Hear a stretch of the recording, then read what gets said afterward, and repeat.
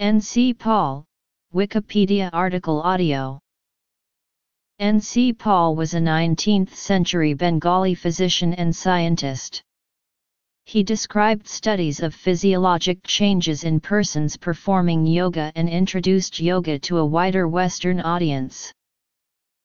Biography Yoga Philosophy Publication Born Nobin Chunder Pal he anglicized his name.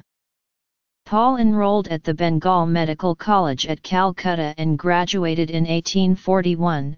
His name is often followed by GBMC to designate him as a graduate of the institution. Transferred to Benares he had a commanding view of yogic life.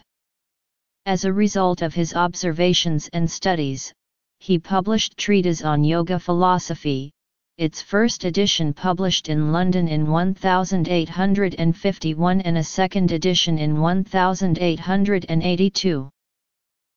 Paul's book has been viewed as perhaps the first attempt to link yoga and modern medicine.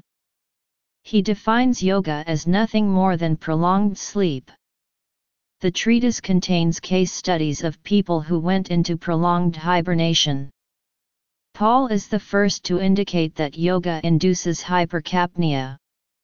He describes yoga positions and exercises for Raja and Hatha yoga and their benefits. The world traveler and theosophist Helena Blavatsky came across the book, erroneously believing the author to be an English physician. She noted that one of his yoga acquaintances was Captain Seymour, an Englishman who became a yogi.